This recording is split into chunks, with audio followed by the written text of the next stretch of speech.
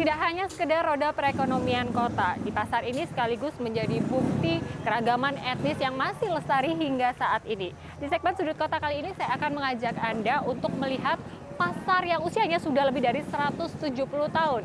Pasar Pabean, Surabaya. Hiruk pikuk antara penjual dan pembeli tampak tidak pernah mati di tempat ini. Sepintas memang tampak seperti pasar pada umumnya. Namun di tempat ini sekaligus menjadi saksi bisu pergerakan uang yang begitu deras di kota Surabaya kala itu. Ya, Pasar Pabean menyimpan banyak sisi unik nan bersejarah. Berdiri pada 1849, dahulunya tempat ini menjadi tempat bersandar kapal dan komoditas yang akan dikirimkan ke negeri kincir angin.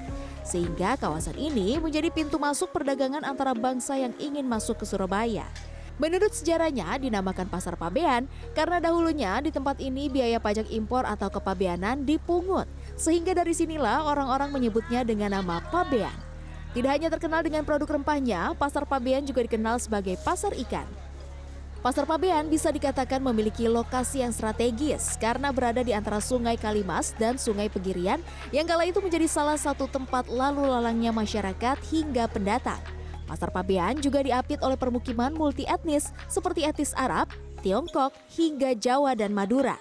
Hal inilah yang membuat Pasar Pabean menjadi tidak biasa.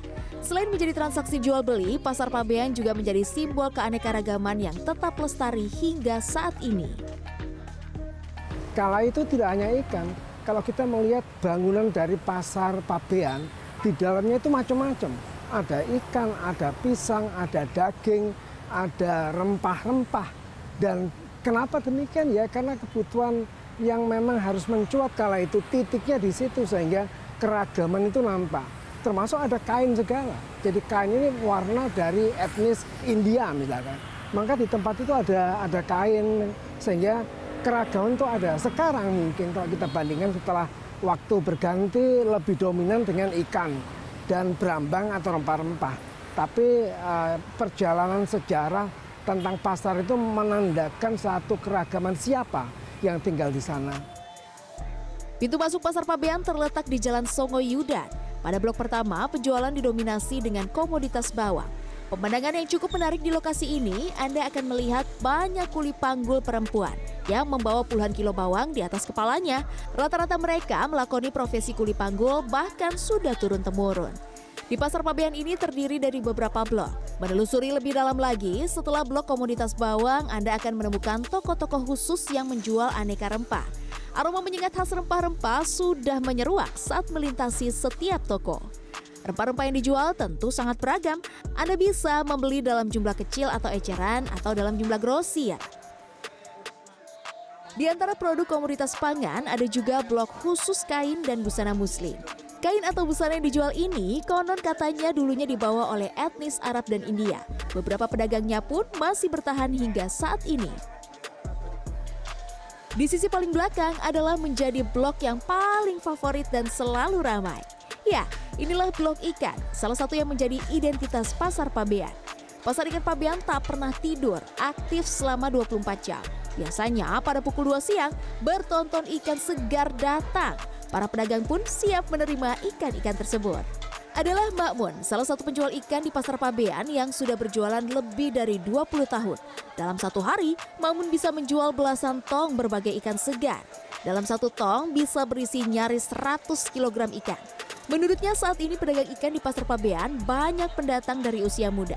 Dibandingkan dulu saat kondisi pasar ikan Pabean jauh lebih ramai.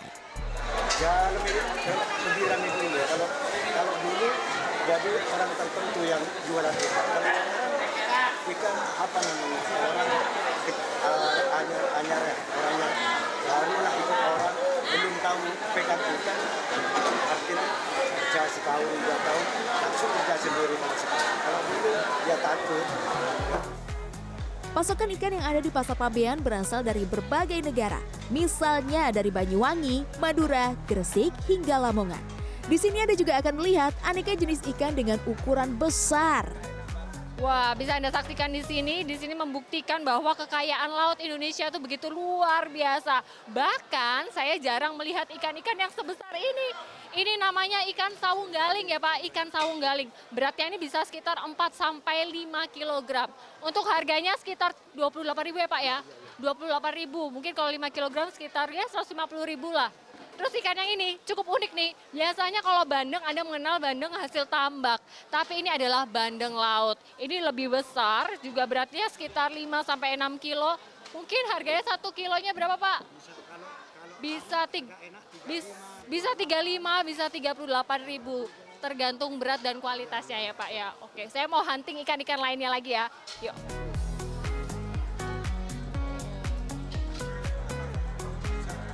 Ya, lepas maghrib aktivitas di Pasar Pabean mulai melandai.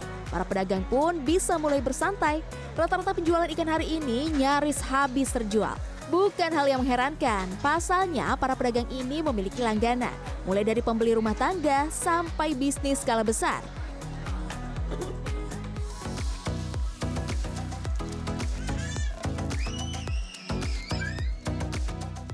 Setelah berjalan-jalan melihat aneka rempah dan aneka ikan, tampaknya tidak lengkap ya jika tidak ditutup dengan berburu kuliner.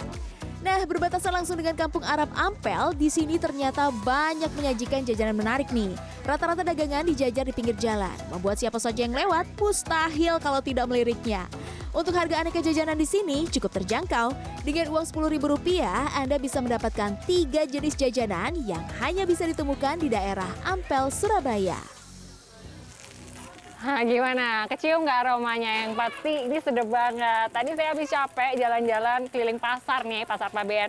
Terus habis itu saya noleh sedikit, wah ada banyak kuliner di sini gorengan-gorengan. Terus tadi tertarik karena di sini bisa ngelihat live cookingnya. Ini adalah roti Maria. roti Mariam yang terkenal banget di daerah Ampel ini ya.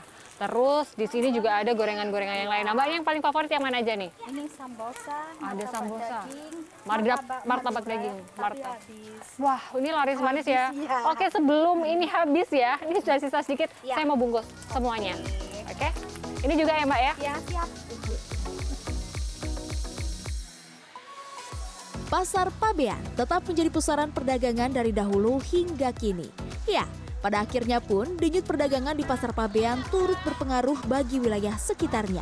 Meskipun tidak perlu banyak yang diubah, namun Pabean tetap perlu mendapatkan perhatian dari pemerintah. Karena tidak dapat dipungkiri, tempat ini menjadi salah satu identitas kota Surabaya. Tim Liputan CNN Indonesia